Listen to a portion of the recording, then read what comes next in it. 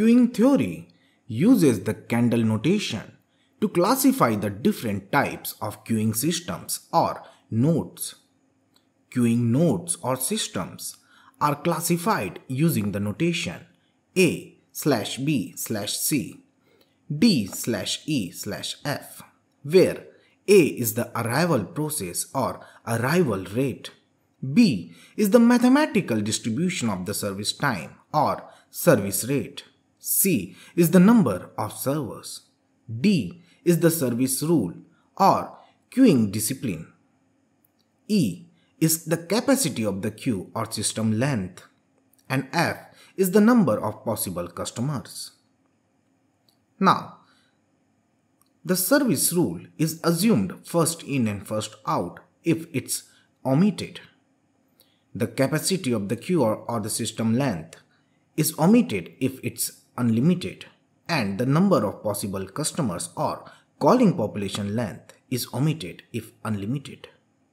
For example, think of an ATM.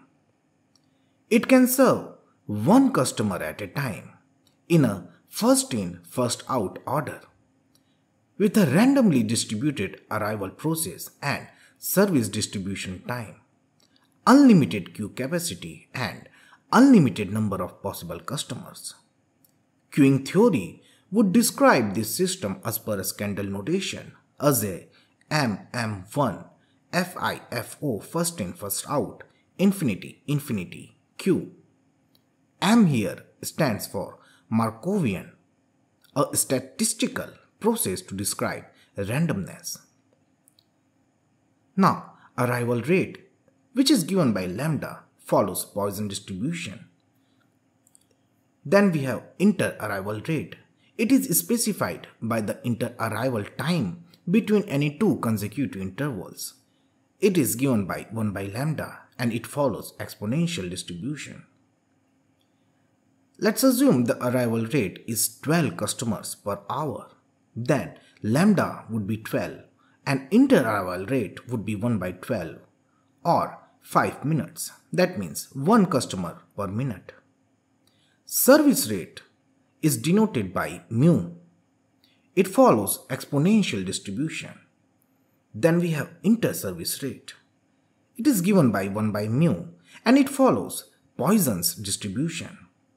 Let's assume the service rate is 15 customers per hour. Then mu would be 15 and inter-service rate would be 1 by 15 or 4 minutes per customer. Now there are certain special cases. The first case is when lambda is greater than mu or arrival rate is more than the service rate. In this case, system will fail. The second case is when lambda is less than or equal to mu or arrival rate is less than or equals to service rate. In this case, system works well. In short, for a good working system, arrival rate must be lesser than the service